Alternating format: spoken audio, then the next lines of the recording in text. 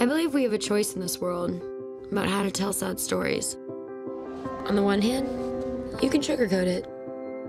And nothing is too messed up that can't be fixed with a Peter Gabriel song.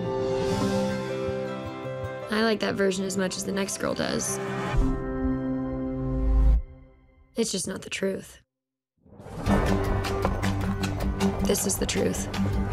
Hey, make some friends. Sorry. My bad. I'm Augustus Waters. I've been in remission for about a year and a half. Maybe you'd like to share some of your fears with the group. My fears. Oblivion. What's your name? Hazel. What's your full name? Hazel Grace Lancaster.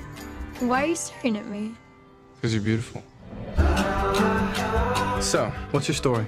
I was diagnosed when I was 13. No, no. Your real story. I am quite unextraordinary. I reject that at the hand. You know, Gus talks about you all the time. We're just friends. I hope you realize you're trying to keep your distance from me in no way lessens my affection for you. Gus, I'm a grenade. One day I'm gonna blow up.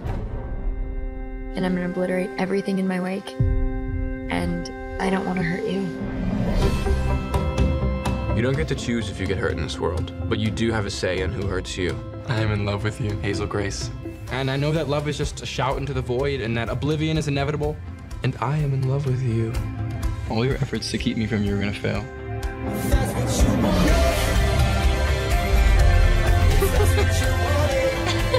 We are a hot mess.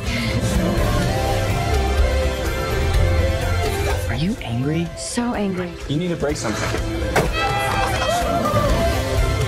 You gave me a forever within the numbered days. And I can't tell you how thankful I am for our little infinity.